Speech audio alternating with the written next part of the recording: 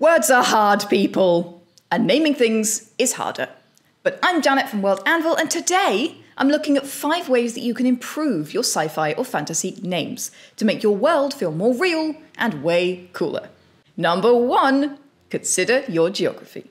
The real world is full of names based on geography.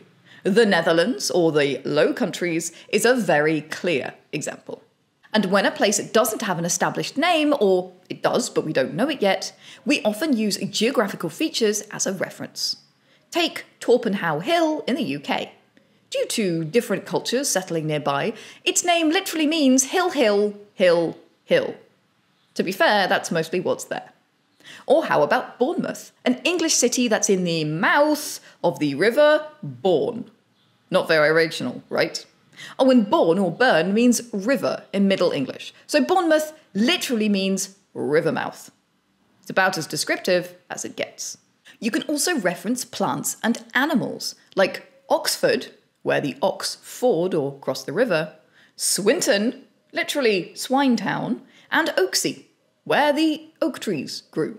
Yes, these are all real places in England, and a map is a great place to look for inspiration for these. I'm not making them up, I promise. So, when naming your settlements in world building, make sure you take notice of, or invent, some notable natural features around them. It'll make naming them a hell of a lot easier. Number two, think about politics. Leaders and politicians love making sure that everyone knows just how important they are. And what better way to do that than by naming a town after themselves? Or what better way to flatter your leader than by naming something after them? Washington, D.C. in the US, and both Queensland and Victoria in Australia are obvious examples of this. But there are town names with sneakier references to people. New Jersey is named not after a person, but after the Isle of Jersey. Because one of the original proprietors had been governor of the Isle of Jersey, he decided to use the same name. Oh, well, I guess home is where your heart is, right? There are many places in the USA, like Lancaster, York, Richmond, and Norfolk, which are all named after English towns, for obvious political reasons. No, don't throw tea at me!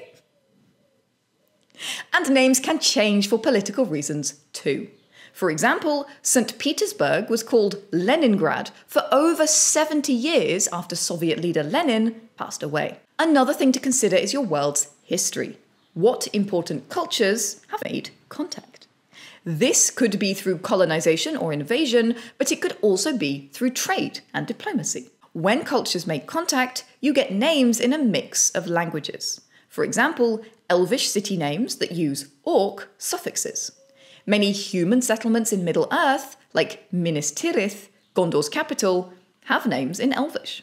And by the way, this is the ultimate show don't tell for exposition in your world. If you go to Allentown and then meet a rich guy called Alan, well, we all know who he is. Number three, remember to be lazy. People tend to be a bit lazy, and you can see that in how names develop. After all, why say something in three words when you can use just one?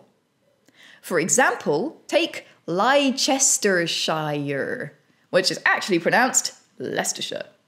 Or even Essex, which is a contraction of the Kingdom of East Saxe. And let's not forget about the USA, because who has time to say the United States of America? Of course, that doesn't mean that long names can't exist. There are some long names, some extraordinarily long names that have grown more complex for a variety of reasons. Looking at you,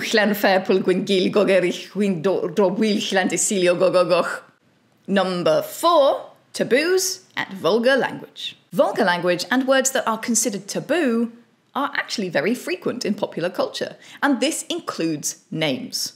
Shitterton is a real town in England. No, I'm not making this crap up. But vulgar names sometimes can appear by accident. For example, Nottingham in England used to be known as Snottingham. It means the home of the people of Snot the Wise, a Saxon chieftain.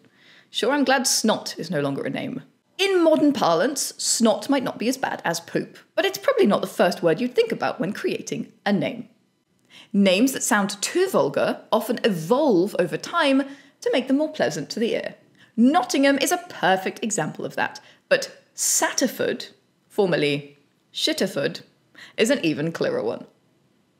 If you know of any other vulgar, funny, or taboo town names, then throw them in the comments below. I love a good laugh. Number five, embrace the chaos in your fantasy names. Let chaos reign. So, unless your world was built by an AI, there will be chaos and randomness. People are, after all, chaotic. So, some names won't seem to fit, or might reference things that are gone. Others might sound funny, and there may be multiple places with the same name, just like there are in this world. Try to strike a balance where most names follow the rules, but occasionally one completely ignores them and shamelessly goes off in the opposite direction.